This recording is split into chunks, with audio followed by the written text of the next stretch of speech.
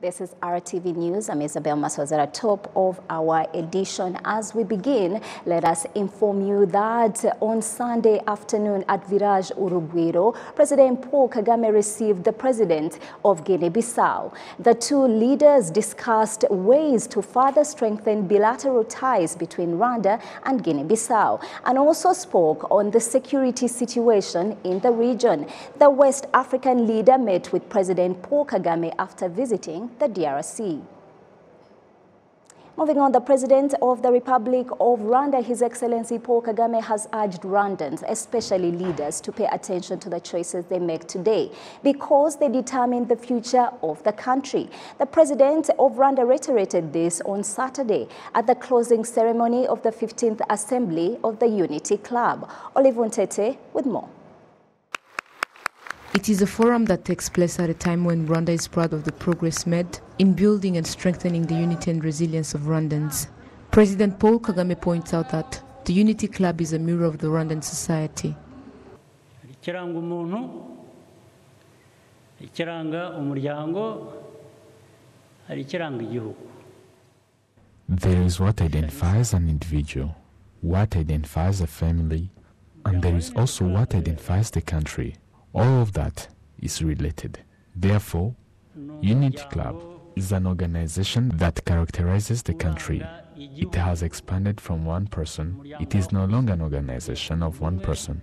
It is an organization of the citizens, especially in terms of mindset, perception, and social life, which gives direction and guides much in our country. Nature and culture is the foundation of families and the foundation of countries.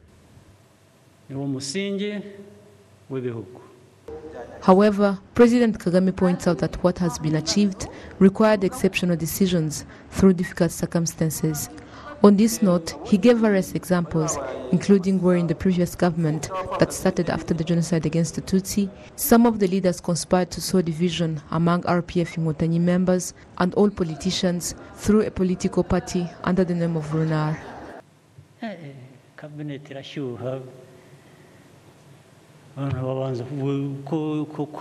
runari tugomba hari ibyayo tuyigomba tugomba kuyiha The cabinet got so excited that we were indebted to Ronald, that there are some of their possessions that we had to give them, but the plan was to create confusion in the cabinet. There were people who used to say, Will we be able to handle this RPF? The only thing that we can do to destroy it is to sow divisions among them. That was the plan. And then I said, How can you be cynical? This journey of moving forward from this bad history and to develop, you are just making us backslide all these years and made us go back to its policy. Should we sit, listen, and follow what, what you are proposing to us? I can never allow to put the waste the blood that was shed. We have not yet even buried those who were killed during the bad history. We don't even know who they are.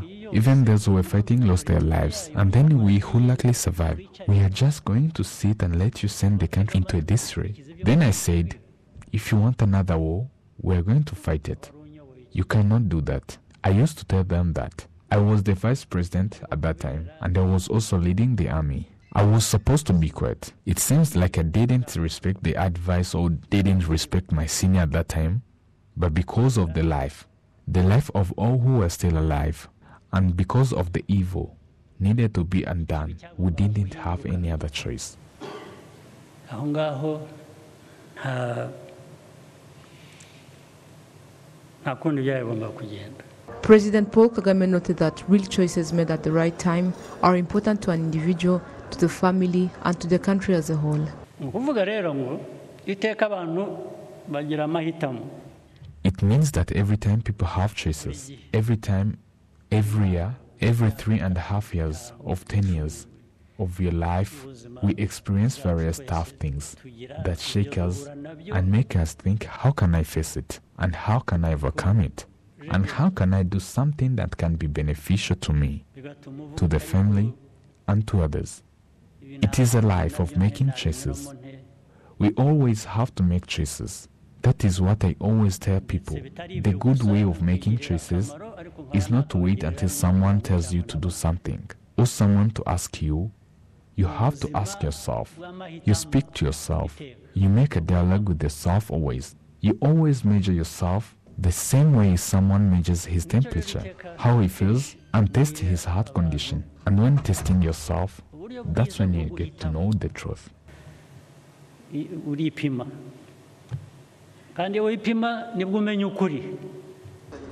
During the 15th annual forum of the Unity Club in Huararumuri, eight exemplary decisions were made and will be reviewed so that the program of Rwanda can continue to be the basis of the Rwandan identity.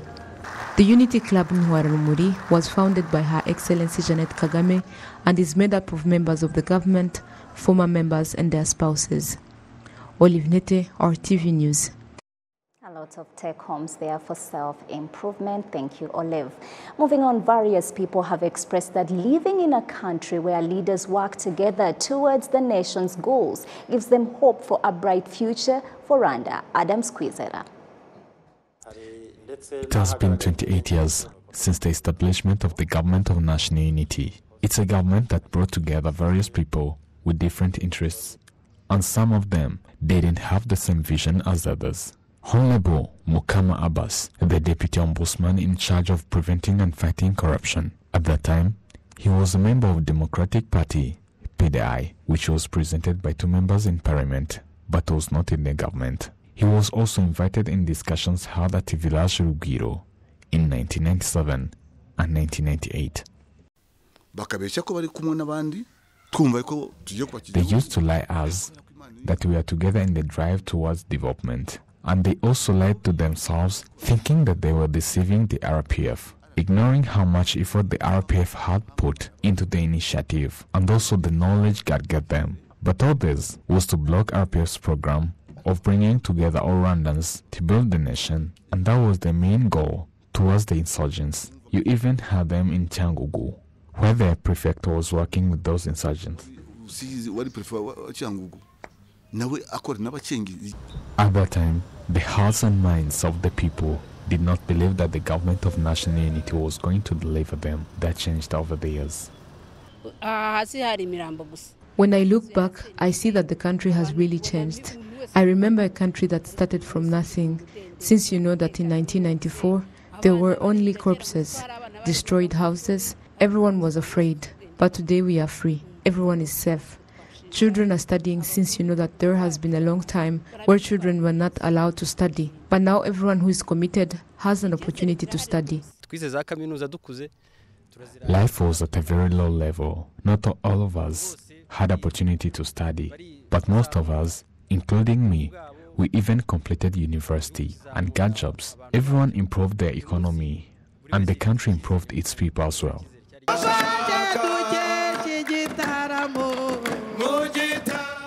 Closing ceremony of the 15th Forum of the Unity Club Intwararumuri, the President of the Republic of Rwanda, Paul Kagame, who served as Vice President and the Minister of Defense at that time, reminded the audience the challenges they went through to get the country to where it is now. nyuma yaho byinshi bindi byinshi byinshi nabwo niba bibuka ubwo Even after that, there were many things that happened. If they remember, I spent days and nights crossing the entire country. And that time I was coming from Kibuye in 1996. Then he started saying that RPF soldiers, Kagame soldiers, were massacring people. At first, I thought I had misunderstood him. But more started joining the ruckus. So I asked him like five times, Seth, what are you talking about? Do I look like a murderer to you? After all those days I have spent in your home area, not eating and sleeping, do you think I went there to kill people? That's all in the past. At that time, there was no reason to oppression about what they might do. But now, there is nothing to be afraid of.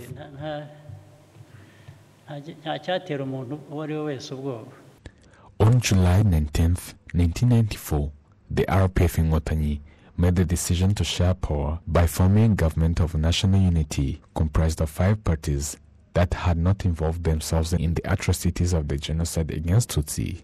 Adams Kwizera, RTV News.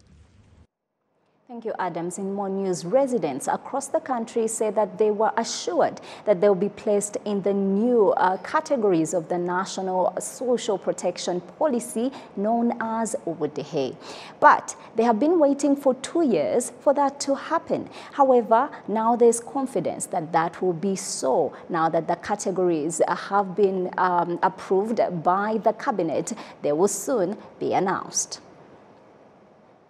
have expressed grievances over the 2015 categories which they say were not done accurately because they did not involve citizen participation. I was placed in the second category, which made me happy and I am content. The thing I criticized was that they put me in third class and I wasn't happy with it. Even when I complained, they kept me in it like a person who has a car who is in the second class. I don't even have a bike. I'm in the third. Isn't obvious that is not fair? Some of the local government officials explained that there are those who have been asking for their categories to be changed so as to assess the difference in terms of health care benefits. We give the person another form to fill and take it to the local councils. Whatever they decide, we respect and change accordingly. In 2021, new Ubudehe categories marked by the letters A, B, C, D, and E were created in a bid to correct the mistakes that were made in the first place, and local residents across the country are still waiting for the new categories to be implemented. batubwiraga ko bizasohoka mu mezi nk'atandatu They told us that new categories will come out in six months, but it has been two years now. The thing that worries us is that there is those who belong to the categories that need help, and others who should budget accordingly to the category they belong. But that's not possible because the categories may come out when they are in different groups.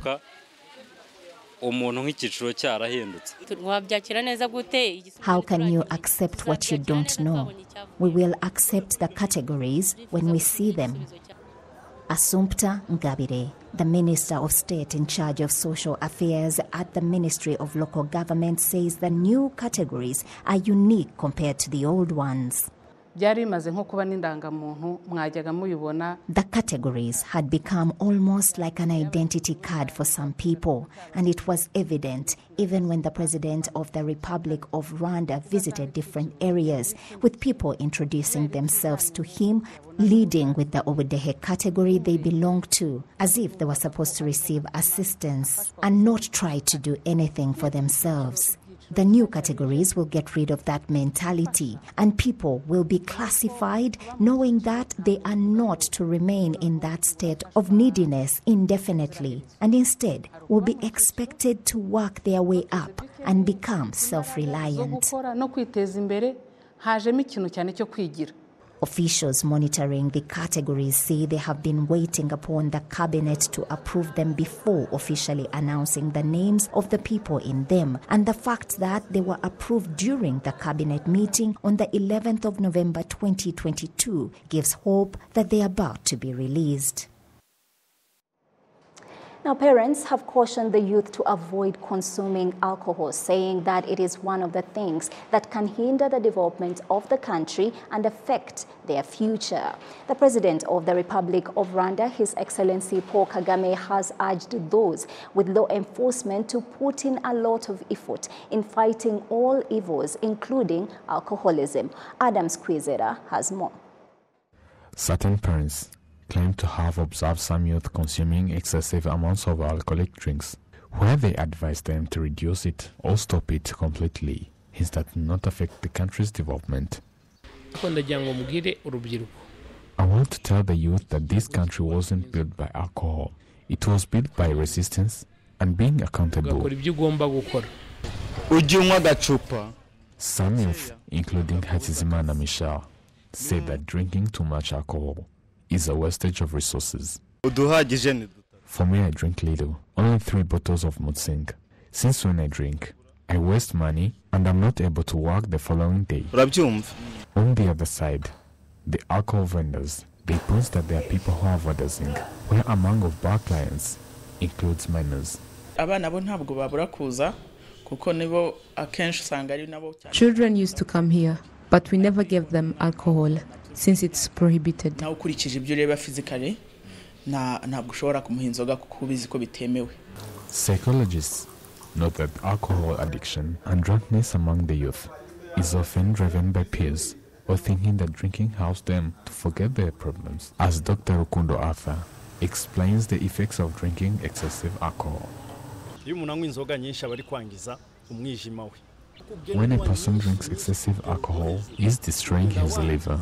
Another thing, people who drink much alcohol may develop a brain damage disease. So we ask that person who is at that level of drinking much that he should take that decision earlier before the consequences. ni byiza ko abifatirana hakiri kare In the 15th forum of the Unity Club Intwararumuri, the participant requested that the age of those legally allowed to drink alcohol be raised from 18 to 21 years, which would help to mitigate bad behaviors. mu bihugu byo hanze In foreign countries, they have age restriction at nightclubs and bars. You find the people at the entrance asking for identity cards, sometimes even stopping adults who look like minors so that there is no confusion. There is enforcement of the law, and anyone caught allowing minors into places they should not be is held accountable. The establishment may be closed for following such a thing to happen. Otherwise, waiting for people to respect the law without enforcing it is a waste of time. It never works out. So you must put laws in place, but you must also do a follow up.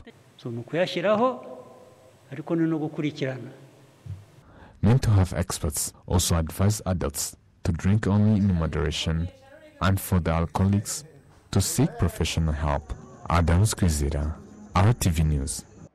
That's my time with you, folks. It's always a pleasure bringing you the latest here in Rwanda and beyond. On behalf of the entire news team here at RBA, thanks for watching.